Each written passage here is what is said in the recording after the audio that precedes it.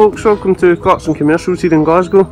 My name's Ryan and I'm just giving you a quick wee video walk around of one of our sales vans today. So it's the 2010 Renault Master, it's the MM35 DCI model and it's the medium wheelbase, finished in the factory grey or silver if you like with a 2.3 litre turbo diesel engine in it with a 6 speed gearbox it's covered just 66,000 miles from new. Absolutely lovely condition both inside and out on this one folks great mileage, very modern styling, uh, modern looks and uh, modern interior in there as well with plenty of kit and bits and bobs in it so we'll get a quick wee wander around.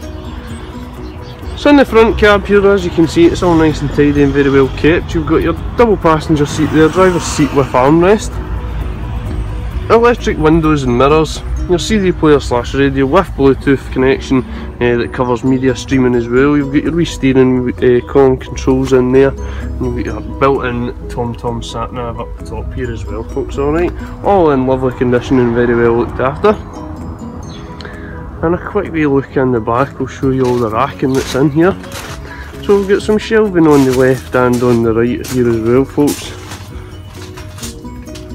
all in good order. You've got the false floor with a load through facility at the bottom here as well. And you've got the load through up the right hand side there as well. All in good condition, no bent or buckled shelves or anything like that.